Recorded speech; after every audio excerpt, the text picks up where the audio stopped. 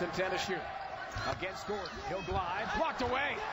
Maxie Esho. What an effort by Esho. Off of Munford's body after the block to give UMass the ball. That was spectacular.